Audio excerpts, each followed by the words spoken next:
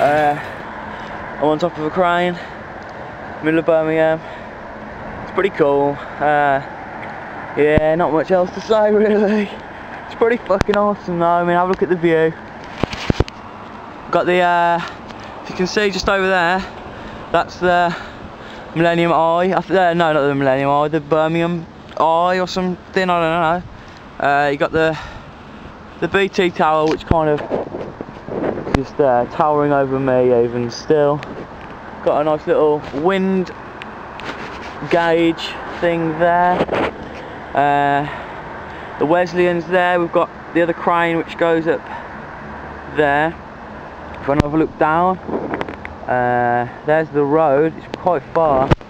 That's the train station. Uh, yeah, that's pretty much it really. Uh, yeah, so it's been fun.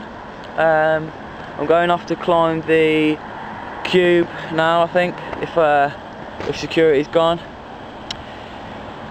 And well, the eye again up there. Right, we're just gonna as you can see we're just to walk out along here it's quite a long way down but anyway there we go there's some cars down there it's quite a height oh yeah so we're on top of the eye I'd say we're higher than the eye um, yeah it's pretty cool there's the other side of the cube uh, there's a crane you can just make out there that's doing some of the building work and stuff. Um, yeah, it's about it really. I mean, if you can see over there, there's a red dot.